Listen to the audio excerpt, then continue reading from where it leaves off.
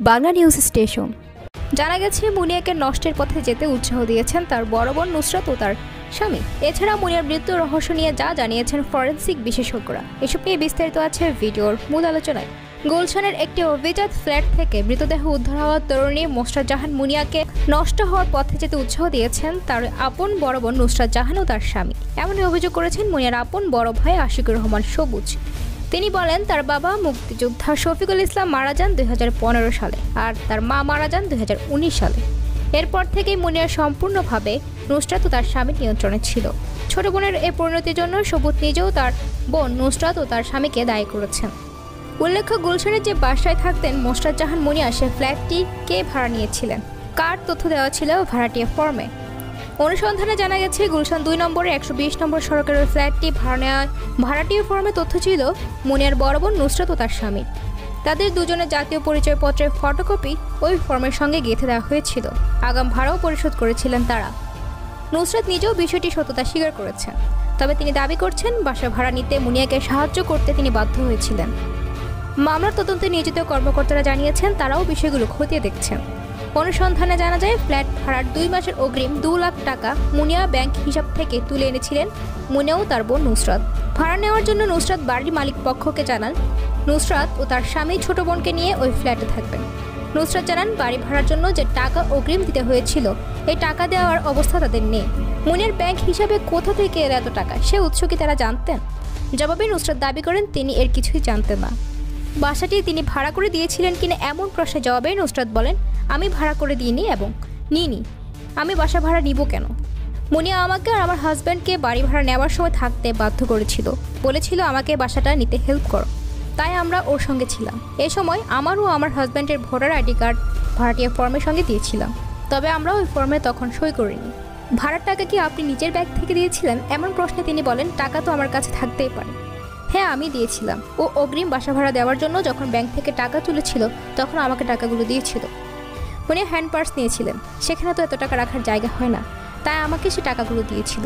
আর এই টাকা meunière bank হিসাব থেকে ক্যাশ করা হয়েছিল। এগুলো তার অ্যাকাউন্টে রাখা ছিল। তবে সেগুলো কিসের টাকা, কোথা থেকে এসেছে তা তিনি জানেন না বলে দাবি করেছেন।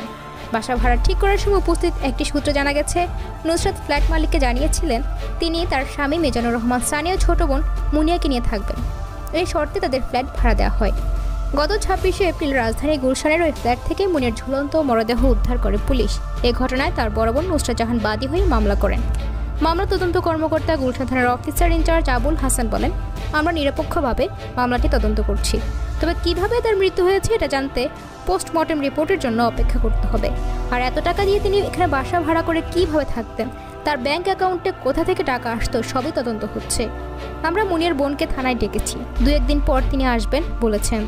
এদিকে মুনিয়ার ভাই আশিকুর রহমান সবুজ গণমাধ্যমকে জানান, ছোট বোনের এই পরিণতির জন্য তার বোন নুসরাত ও তার স্বামীকে দায়ী করেছেন এমনকি নষ্টের পথে পা বাড়াতে মুনিয়াকে উৎসাহ দেওয়ার অভিযোগ করেছে সবুজ।